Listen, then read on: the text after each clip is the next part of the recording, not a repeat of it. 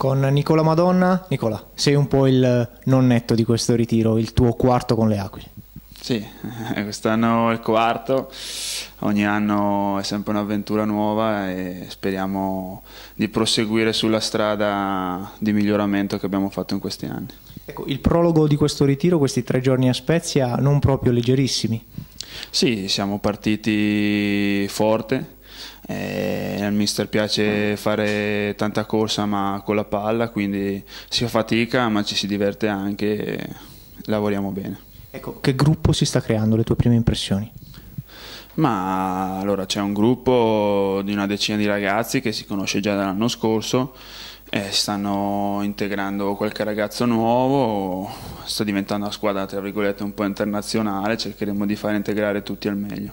Ecco, come ci si approccia ai nuovi? Magari problemi di lingua, però c'è chi ha detto il calcio è un linguaggio universale, non ci sono problemi. Sì, magari all'inizio ci sarà magari qualche piccola incompressione, come è normale che ci sia. I ragazzi nuovi, soprattutto quelli di Sagné, dovranno imparare bene la lingua, ma comunque eh, vivendo qua si farà, faranno la svelta, poi sul campo per quello non c'è, non c'è nessuna lingua. Quale stagione si aspetta Nicola Madonna a livello personale e di squadra?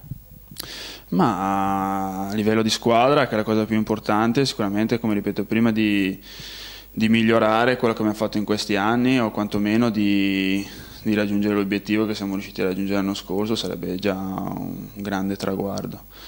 A livello personale, di riuscire a, a allenarmi con continuità, quindi dopo il resto se mi alleno con continuità viene da sé. In bocca al lupo. each other.